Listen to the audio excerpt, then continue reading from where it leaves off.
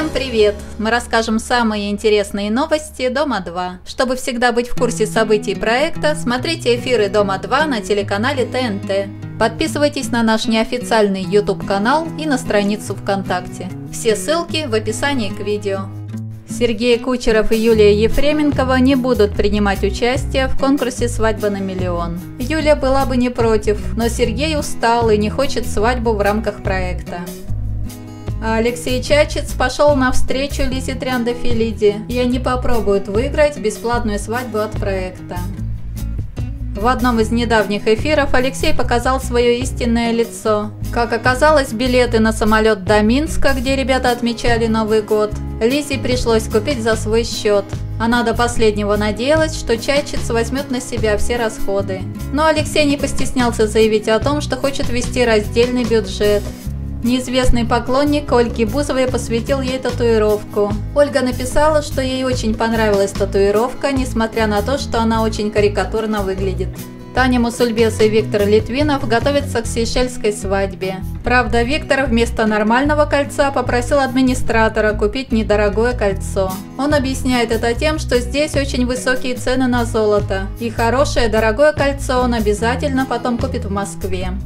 Тата Блеменкранц хочет увеличить грудь. Она выбрала того же самого врача, который делал операцию Лили Читрару. Рома Капакла и Марина Африкантова после Минска хотят съездить за границу. Мы хотим отдохнуть морально, а также физически, пишет Рома. Мы оба очень устали за последнее время. Сергей и Даша Пынцарь на новогодних праздниках отдыхают в Италии вместе с Ксенией Бородиной и Курбаном Амаровым. На днях Даша отметила 32-летие. «Я в Риме, я счастлива», – пишет девушка. Саша Черно устроила романтическое свидание Михаилу Вырскому. На нем она танцевала танец в восточном стиле. Но Михаил отказался строить с ней отношения, он сказал, что не просто друзья.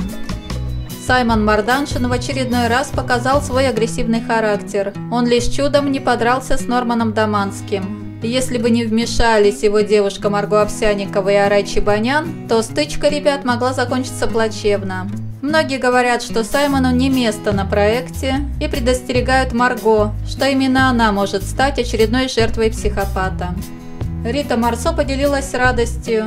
Они очень долго ждали, пока построится дом, где они купили две квартиры и, наконец, получили ключ от одной из них. Это жилье они ждали вместо обещанных шести месяцев целых два года. После появления в эфире «Дома-2» Жени Феофилактовой с сыном, многие зрители стали негативно высказываться в адрес маленького Даниэля Гусева. В свои полные пять лет мальчик не выговаривает половины звуков. Многие пишут, что он отстает в развитии и посоветовали Жене обратиться к логопеду, а также к дефектологу. На этом все. Спасибо, что были с нами.